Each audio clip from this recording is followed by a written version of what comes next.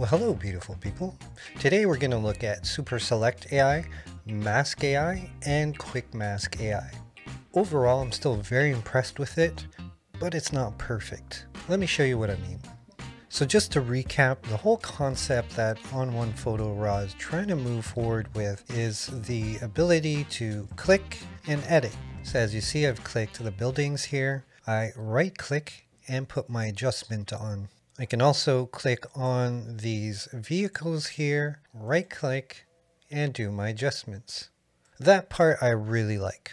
So far from what I've seen, Super Select AI and Mask AI are practically the same thing in terms of masking, where Super Select, you can select things more individually. So if I look at this example, I can select the cars individually if there were people here, oh, there's a person hidden over there. I can select that person. With Mask AI, whether you're in effects or local, let's go ahead and add a filter here. On the left, you're going to see here I have options to mask certain areas. So if I click on transport, Notice that it's selecting all the transport objects in the scene, well most of them. And as I said before, you can go into your local adjustments here and do the same thing. If I were to click on my mask here, you see that there's an option here under Mask AI for the same things, and then you can paint in or out the effect that you're using. Now, like the previous example with buildings and roads, in this picture with skies, water, it works very well. And if you're just making adjustments like contrast, sharpness, the mask accuracy isn't as important, but usually it's pretty easy to get away with an imperfect mask and you can make tweaks to it manually. So let's start with people. Now, this is a fairly easy image for the AI of the mask to pick out. If I hover over the background, you see it's not perfect, but I can make a second click and it does a fairly good selection. Yes, it's not too accurate on the sides here. If I were to zoom in a little bit. Again, this is a beta version and the overall quality of the refinement of the mask is still to be improved on. But for the most part, it does a decent job. If I were to put an effect on the subject here, it's actually more accurate than what you visually see here. So don't put too much weight on what you see here at this point. Now where it becomes an issue is when things start to get a little bit more complicated. So if I hover over April here, you see that it's picking up the bench. Now I can understand the mask picking up, you know, a little bit between the hairs and under the armpit, you know, problem areas that need to be manually worked on, but it's picking the whole bench here. So this is where my concern comes in. Not that I can't fix this with adjusting the mask, but this is my biggest gripe about AI programs that they give you this high expectation that it's going to automatically do what it's supposed to, but then it does selections like this. Now you might be thinking, oh, Ermin, you're overreacting. This is just a beta version. Well, let's try something else. So I have this video of a lemur that I used in a previous video. I hover over the lemur, selects it great. I select the background, no problems. A little piece here that I need to select, no problems at all. Put the lemur in an environment with trees and branches. It also picks up the branches. And if you look below here, in between the branches and the lemur itself, it's picking up some of the background. If I were to make adjustment, let's say to the contrast, and I'm going to over exaggerate the blacks and the shadows, bring them down, you see the selection isn't too accurate. Then we get an example like this where it's hit and miss. If I use Mask AI for this example, we're going to add a filter here. You're going to see here that it doesn't even recognize the dragonfly here. Typically, if it were, you would see it under animal.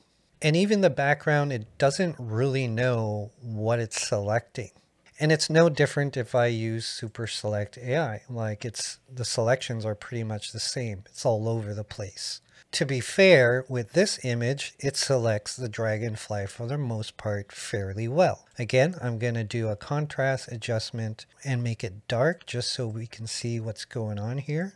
Even though you see that the selection is picking the background between the legs there, when I hover off of it, you're going to see that it's actually very accurate. I may have to make some adjustments here on the leg here. It's super tiny. I can't expect it to pick that up. But in this case, it makes the selection pretty well. And if we look at the adjustments here we go under masking, you see that it recognizes the dragonfly as an animal. So on one side of the fence, it didn't even recognize it. On the other side, it did pretty decent job.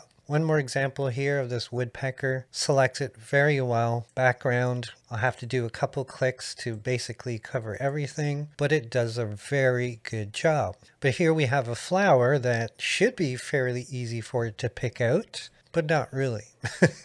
So I guess my main concern is the consistency, and this is kind of reminiscent of what we've all been through that are Luminar Neo users with the Mask AI. It's kind of hit and miss, and it's almost like you have to have binned images for it to work. I hope that's not the case with ON1 Photo RAW. And I can understand why certain images work better than others. But if you're going to push the whole AI thing, then the AI should learn, at least eventually, the differences between the subject and the background and everything else around it. It's not too much to ask because it's these companies that are saying this is an AI platform, but I'm not getting that AI result.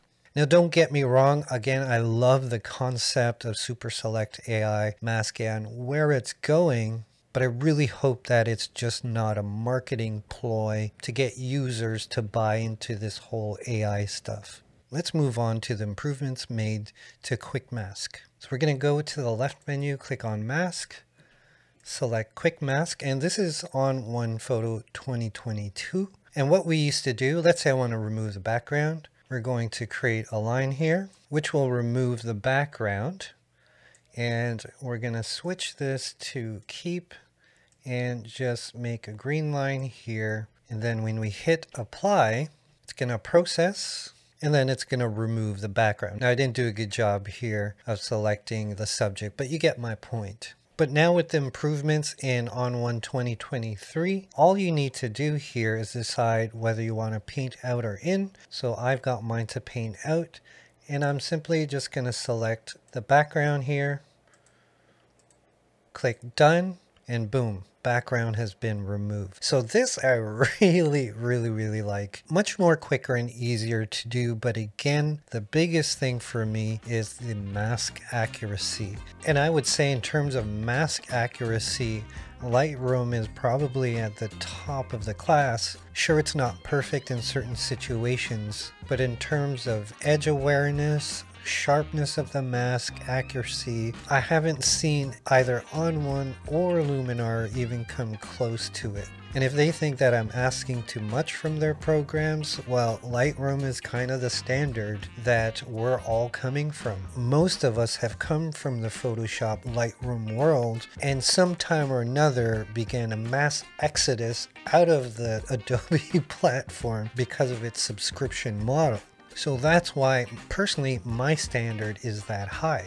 So the whole point of this video was really just to give you guys awareness of what I'm seeing and I wanted to have a basis to compare between the beta version and the official release version to see where those improvements have been made. For the most part, again, it works very well. I love the click edit concept, making your workflow really smooth and efficient. But you can't skim over those little details that have a lot of value to people like myself. So the verdict's still out until the official release, but at least now you guys are more aware. And in the next video, we're going to take a look at the new addition in the Sky Swap feature with Occudrone Skies. Until then, good people, I'll see you when I see you.